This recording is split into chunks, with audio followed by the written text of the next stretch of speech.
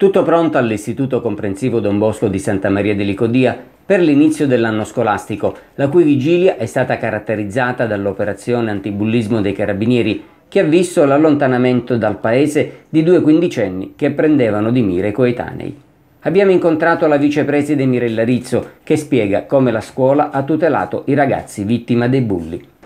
Intanto la scuola ha appreso di questi atti, molti dei quali purtroppo sono accaduti fuori, quindi in una situazione di scarso controllo, dalla stessa bocca diciamo, dei bambini.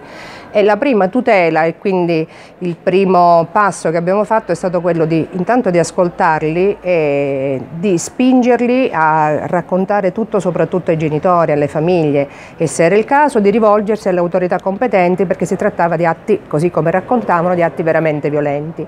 Come scuola noi ci siamo attivati anche per chi non è stato vittima di bullismo ma compiva gli atti di bullismo e quindi anche per loro è stata eh, come dire, progettata un'azione una, educativa che mirava soprattutto attraverso dei laboratori creativi utili a canalizzare l'aggressività che questi ragazzi esprimevano nelle relazioni con i compagni, anche con gli insegnanti purtroppo, con tutto, contro tutto il personale della scuola. E abbiamo dato anche eh, così impulso ad una rete di collaborazione con delle associazioni che si occupano nel sociale, del sociale anche dal punto di vista educativo, chiedendo loro di darci una mano e questa è stata una bella risposta da parte delle Agli, da parte della Misericordia, da parte dei Salesiani di Barriera del Bosco. Che rassicurazione può dare agli studenti che si apprestano a entrare in classe e che saranno intimoriti dai fatti che sono venuti fuori? Questa è una scuola molto attenta, come abbiamo potuto dimostrare, molto attenta ai disagi, a tutti i tipi di disagi, sia